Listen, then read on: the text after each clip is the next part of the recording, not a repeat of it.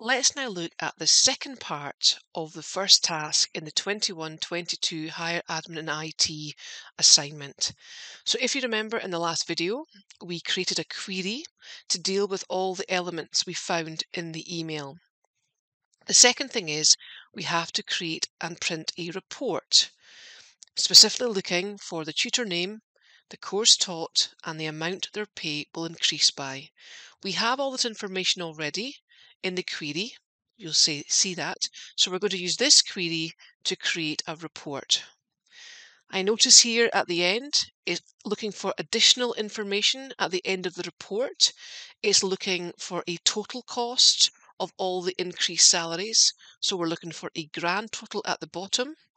And it's reminding us to give a meaningful title, the report a meaningful title, and to put the college logo also in the report.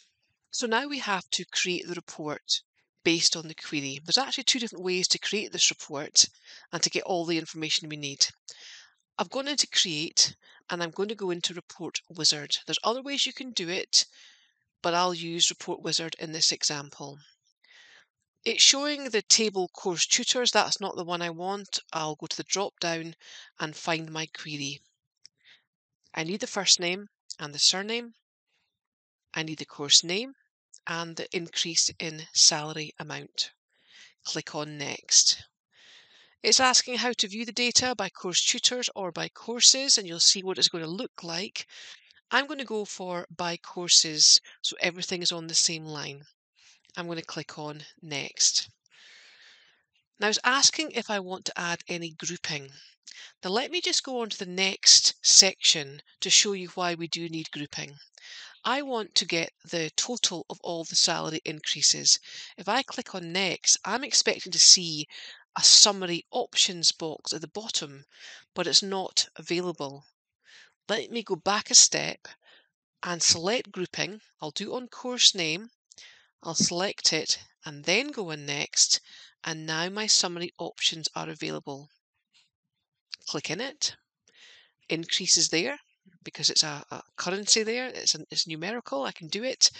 Click on the sum box, click on OK. And then next. Looking at how do you want the report to look, doesn't actually say in the question, but I'm going to go for block and that's how it's going to look um, once I create it. Click on next. We did, we have been asked to give it a suitable title and courses is not really suitable. So let's go for salary increase for course uh, leaders. That looks more appropriate. Let's click on finish. Now, my report is there. The total that we need is there, but it's very busy and it's not ready for printing yet. So let's close the print preview and let's take out some of the information.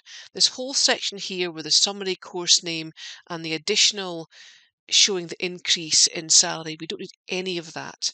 I'm just going to click on it and then I'm going to hit delete. I'll take off the extra sum. I don't need, need that extra section there. Uh, nor this one here. So I'm just clearing out the information that I don't need. Let's view it and I can see, well, we've got our total here, that's fine we've got all the fields in the wrong order and I can't actually see the full text in that course name. So let's go back and make a few design changes. You can easily move the, the field order just by dragging and dropping. So I know that I want the course name towards the right of the report. So I'm just going to literally click and I'm going to click and drag across and then I'm going to move the this section, the page header. These are all my field headings. So let's move that across and the information in the detail is going to follow. Don't need it to be quite as big a space here, so I'm just going to narrow that down like that. Let's bring across, this is me moving the tutor surname field heading and the, the actual detail will be underneath. And again, let's just make that uh, narrower. We definitely need much more space for the course name. So I'm just going to stretch that out like that. And then the increase should be fine. So let's just have a look at that and see how, how it looks.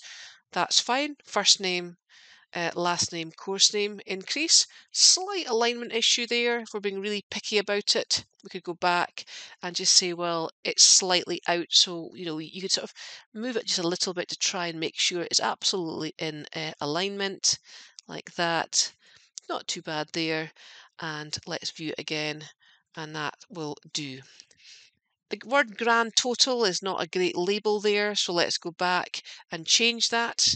Let's now call this, let's say, we'll call it um, the total, let's say total, oops, spelling, total salary increase, like that. And we'll have a look and everything is there. So this 13,000, we're going to go back and have a look at this. It's kind of bunched up here. I'm just going to actually make this box bigger so you can see essentially what the sort of formula is um, that we need to get the total salary increases. You might want to take a note of this. We'll need this for the next way of creating this report. I'll just put that back in a line again and view it and we'll see there that that report is finished except for the logo. We'd go into view and then design view and although we're looking for the logo, so if I click on um, in this top section here, I think actually is better to insert an image. So click on the image, find the logo, in this case we have it CCS logo, and let's just kind of, you know, make space for it at the top of the report maybe towards the right hand side there. That's it in, a quick double check, and here we have the report finished. Now you might find that having to go and delete information and move fields about is a bit of a faff. So let me show you another way that you could have created this report. So let's go back and do it again. Create report wizard from the query the first name, the surname, the course name, the increase, click on Next. We'll view it by courses and Next. We're not bothering with grouping straight across. We'll leave it um, like this. There's no summary options. Just click on Next. The tabular format there, that looks fine. Click on Next. We said we need to give it a, an appropriate title and we said we just do salary increase by uh, course leaders like that and then we're going to finish. The report has come up very nicely, almost almost perfect, everything in order, the fields in the right order. There's no total though. And I can see we still can't quite see the full course names. So remember, we'll close the print preview. We're now in design view. It'll just take a very uh, small change to get the course names in full. Let's just take off some space from the tutor surname and let's just extend the course name like that. And let's have a little look and see. So that's all fine except for the course total.